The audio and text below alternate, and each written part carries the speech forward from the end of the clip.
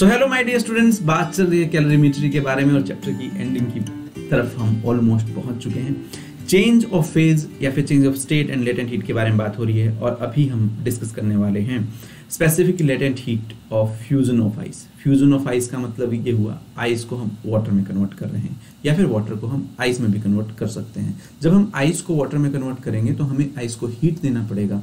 और अगर वाटर को आइस में कन्वर्ट करेंगे तो हमें वाटर से हीट लेना पड़ेगा। यही पूरी कहानी है, यही पूरा चैप्टर है।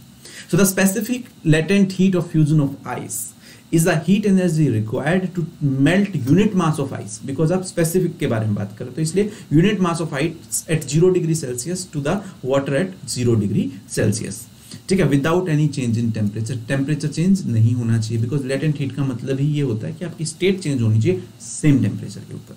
So the specific latent heat of freezing of ice is the heat energy released when the unit mass of water at 0 degrees Celsius freezes to ice at 0 degree Celsius without any change in temperature. तो ये दोनों एक दूसरे से एक जैसे ही हैं कि आइस को जितनी हीट देनी पड़ेगी मेल्ट करने के लिए वाटर से उतनी हीट लेनी पड़ेगी उसको फ्रीज करने के लिए सिंपल सी बात है ठीक है आगे पढ़ते हैं थोड़ी सी और उसके बारे में detail for pure substance the specific latent heat of freezing is same as that the specific latent heat of fusion ठीक है मतलब ये हुआ कि फ्रीजिंग के टाइम पे हमें जितनी हीट लेनी पड़ती है फ्यूजन के टाइम पे हमें उतनी हीट देनी पड़ती है। दोनों ही एक बात है। पिछले पेज पे भी हमने यही बात सीखी थी।